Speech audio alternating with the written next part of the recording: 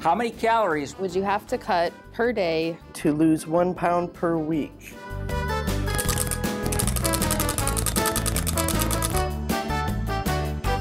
Uh, calories per day to lose one pound per week. A hundred calories a day to lose a pound a week? Possibly? I don't know. I totally made that up.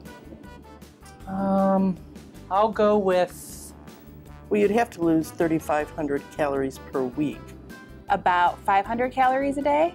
I don't really do numbers, but I would have to say maybe slash like 100 calories a week. 300. Can I change my answer? I'm going to guess it's 3,000 calories. All right, well, to lose one pound of fat uh, per week, uh, we're looking at a deficit of 3,500 calories uh, per week.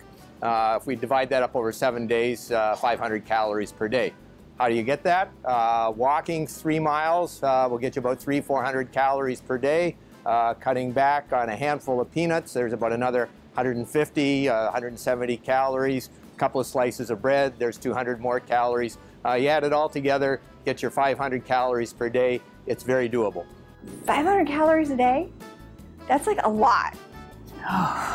Wow. Okay. That's what I'm working on right now, is a pound a week. Oh, I was right the first time. Seems like it's going to take a lot of dedication. I would hope I get more than one pound for 500 calories. Okay, it sounds doable. Seems pretty intense.